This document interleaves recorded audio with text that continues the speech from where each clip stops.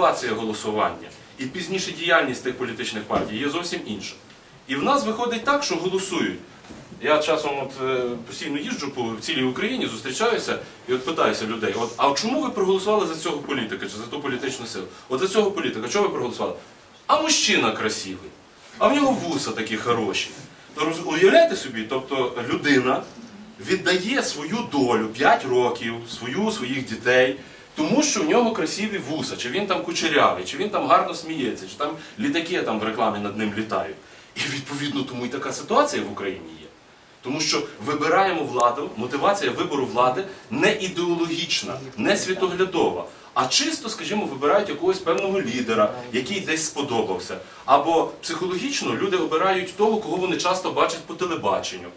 От раз, другий, третій, кожних там 10 хвилин він крутиться, крутиться, і людина собі думає, може дійсно він нормальний. Тобто дуже рідко, коли в Україні мешканці нашої держави починають вникати в якісь моменти, а що ж та людина буде робити при владі? І прикладів таких є е, дуже багато. Я не хочу зараз на персоналі переходити, хоча, якщо вас буде цікавити, можу і перейти на персоналі.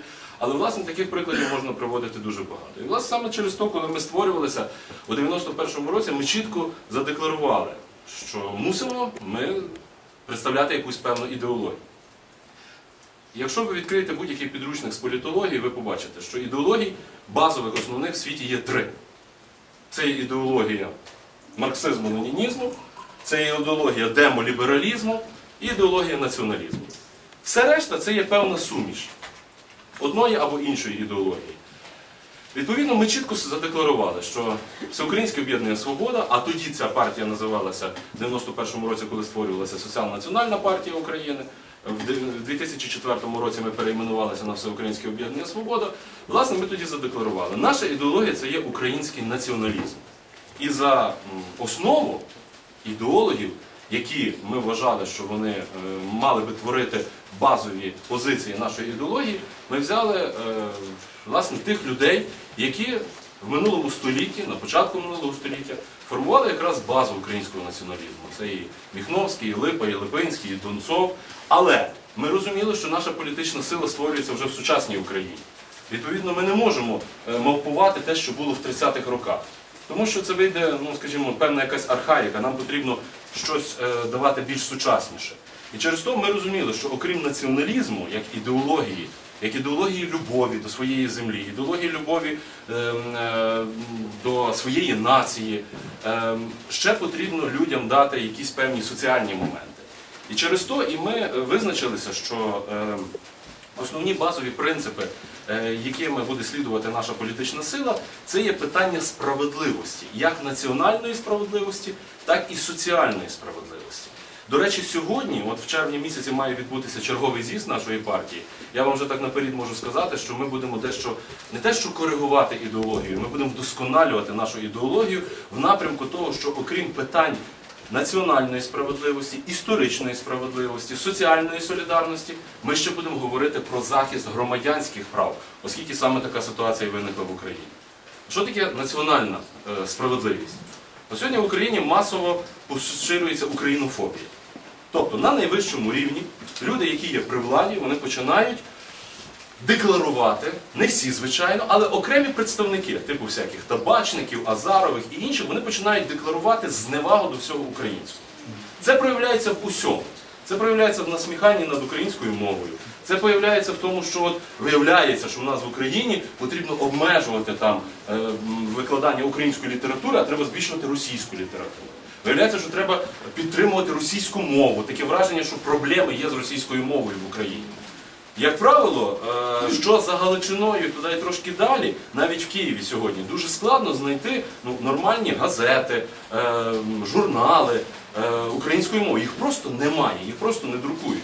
От скажімо, от є багато жінок зараз тут в залі. Напевно, кожна жінка, ну як правило, кожна жінка задоволена собі прийде в кіоск і купить просто нормальний жіночий журнал, правда? Щоб почитати про якісь там жіночі справи. Та навіть чоловіки люблять теж купувати чоловічі журнали. Але немає таких журналів українською мовою. Просто-напросто. Вони можуть навіть видаватися в Україні, але це є російська мова, це є мова інша. І відповідно, е, незважаючи на все це, проявляється ота шалена українофобія. Коли, наприклад, в Одеському університеті, от уявіть собі, я просто так моделюю, щоб щось таке було в Австрії. Замість шмати е, Вахтер, який просто ненавидить все українське, він не тільки не українець за національністю, а просто, ну скажімо так, не сприймає будь-що українське.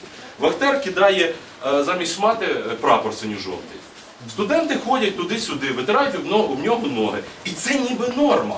І коли один студент підняв крик, то того студента чуть не виключили з інституту. То один з одеських вузів. Розумієте? От уявіть собі, щоб щось таке було в Європі, наприклад. Та навіть в Росії чи могло би щось таке бути? Ні, не могло би бути. А те, що в Україні починають встановлювати е, зараз один за других пам'ятники Катерині II. Давайте просто собі проаналізуємо, хто то така? Яке вона має відношення, в принципі, до України, окрім того, що вона е, запровадила кріпацтво, і окрім того, що вона знищила Запорізьку Січ, і окрім того, що вона була на весь світ е, відома Хвойта. Так? Ну, от яке відношення, який стосунок вона би мала мати до України? Ви знаєте, я був в Одесі, я бачив цей пам'ятник славнозвісний, який відкрили. Це величний пам'ятник. На є що подивитися. Це реально, це така скульптура, я вам скажу, з усіма тими клумбами на, на, на дійсно так красиво воно виглядає. Але ж ідеологічна суть яка? Так само то відкриття пам'ятників Сталіну.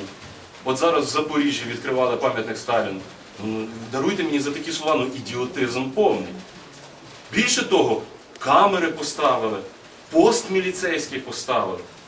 І коли Свобода, Запорізька обласна організація Свободи, нашої, е, наша- нашої політичної сили, мала намір, до речі, єдині ми виступили проти того, щоб цей пам'ятник встановлювався, ми е, хотіли виставити бодай би пікет, бо більше не дозволяли.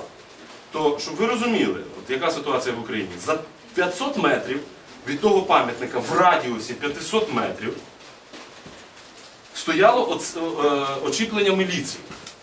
Навіть в парку не можна було.